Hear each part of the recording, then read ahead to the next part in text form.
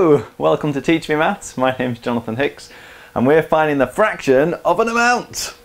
Now the concept here is very simple really. So imagine you've got uh, 180 pounds, let's say, and you want to find half of it. Yeah. So it's a half of 180 pounds. That's what we're talking about. You're finding a fraction of an amount.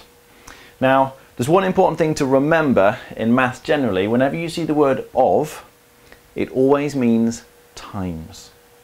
So in this case, if you need a half of 180 pounds, what we're actually trying to figure out here is what a half times 180 is. Obviously a half of 180 pounds is going to be 90 pounds, but in terms of the way you do it when it gets more complicated and you can't immediately see what the answer is, effectively you're timesing the fraction by the amount that you're dealing with, in this case the 180 pounds. And if you remember from the multiplying fractions video that I did, if you're multiplying a fraction by a whole number, effectively the fraction just multiplies on the top. So what we've got is 1 times 180 on the top and on the bottom the 2 doesn't change so that goes over 2. This is because you can kind of put an imaginary divided by 1 underneath there. Yeah, 180 divided by 1 is still 180, we haven't done anything to that. But that means we can now multiply the fractions. You just multiply the tops, 1 times 180 is 180, and then you multiply the bottoms. 2 times 1 gives you 2. But because of the divide by 1, this bottom number will never change. When you're timesing by this thing, it's always going to stay the same. So we don't bother writing in the divide by 1 here. But the point is, you just multiply the whole, the amount that you're dealing with by the top of the fraction to get that, and then you divide by the bottom of the fraction. 180 divided by 2 gives you 90. So in this case, half of 180 pounds would be 90 pounds. Now that's fine when it's nice easy numbers like a half, but what happens if you have a slightly more difficult fraction? So we'll find 3 quarters of 12. So this isn't money now. I mean, you can find a fraction of whatever you like maybe it's 12 pounds of flour or something, whatever you're dealing with in this situation. You need three quarters of 12. So remember, of in maths always means times. So what you're really finding here is three quarters times by 12.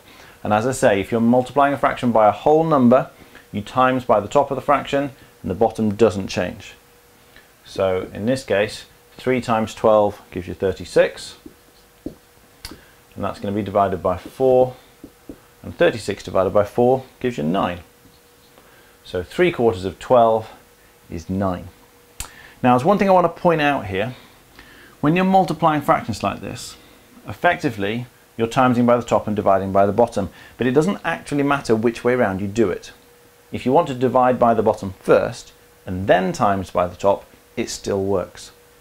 Now you need to be a little bit careful that doesn't work in every situation, but if you're ever multiplying a fraction by a whole number, it does always work. So whenever you're finding the fraction of an amount, you can always do it like this. You can always do the division first and then do the multiplication. And I actually think it's a bit easier to do it that way.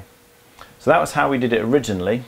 If we go back to the original question, 3 quarters times 12, this time if we do the 12 divided by the 4 first and then times by the 3, you'll see so it's going to be 3 times, if we don't change that bit, but the 12 divided by the 4 will give you 3. And 3 times 3 gives you 9. So you can see you're going to get the same answer either way. But I think it's a bit easier dividing by the 4 first to get a 3, and then multiplying to get up to 9, rather than multiplying the 12 by the 3 first to get 36 and then dividing. The reason it's easier this way is because if you divide first, the numbers get smaller before you multiply them back up to get bigger. If you multiply first though, the numbers get bigger before you divide down to make them smaller. And generally it's easier working with smaller numbers. So if you can make them smaller first, that's easier than making them bigger first. But it doesn't really matter. Both ways work. I just would recommend that you divide first and then multiply. All right, I'm just going to do one more example and show you a different way of thinking about this. But essentially it's the same thing. I'm not going to do anything different. So this time we'll find 2 fifths of 15 thousand pounds. So again, it means times. And you could think of it as 2 fifths times 15,000 and then do the multiplication. But another way to think about this is if you want 2 fifths or 15,000, if you first of all find out what 1 fifth of 15,000 is, you can use that to find out what 2 fifths is.